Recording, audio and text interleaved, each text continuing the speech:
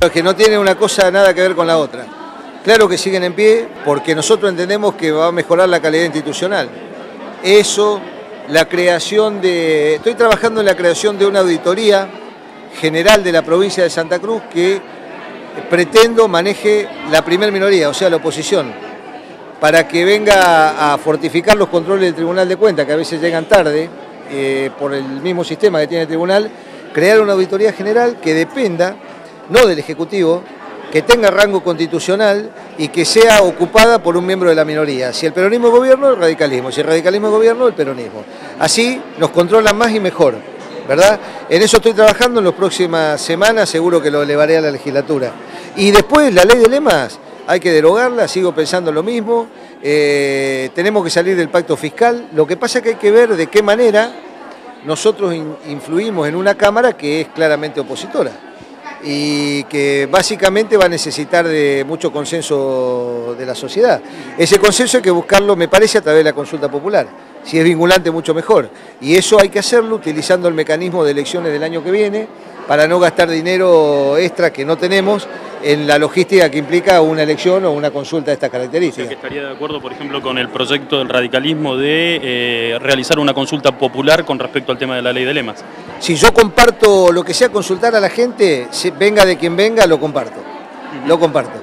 Inclusive no sé si no tenemos que poner en marcha también o en orden la posibilidad mm, de, plebiscitos que condicionen la permanencia en los cargos de aquellos que incumplen lo, que se ha dicho o lo que se promete en las campañas electorales. Habría que ver, ahí la reforma constitucional no puede estar orientada a una sola cosa o por un tema en particular, porque si no parece que tocamos la constitución eh, cuando nos conviene. Creo que tenemos que hacer un, entre todos aportes para ver de qué manera usamos la elección del año que viene, de medio término de legisladores nacionales, y podemos incluir tantas cosas que hoy a la sociedad le preocupan. Ahora, gobernador, eh, la gente nos parece a nosotros que ha hecho una lectura política de lo que ha ocurrido a partir del viernes con este acuerdo que se ha firmado con IPF. Y esto enmarcado en esta discusión y en esta disputa que había con los legisladores, con ciertos funcionarios del gobierno nacional. ¿Cuál es la lectura política que hace el gobernador de la provincia de Santa Cruz? Mira, nosotros necesitábamos el acuerdo, IPF necesitaba el acuerdo y el país lo necesitaba. Por lo tanto, no hay que hacer una lectura parcial basada en una foto con tal o cual funcionario.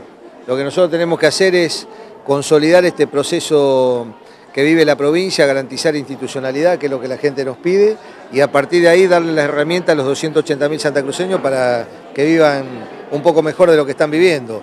Con lo cual, eh, creo que hay que interpretarlo en ese marco. Después las diferencias políticas están a la vista, no, no, es necesario que yo las explique. ¿La foto con el ministro de Planificación Federal era parte del acto protocolar o fue espontánea? No, la foto tuvo que ser porque el ministro fue a ceder las acciones. Así que había que hacerla.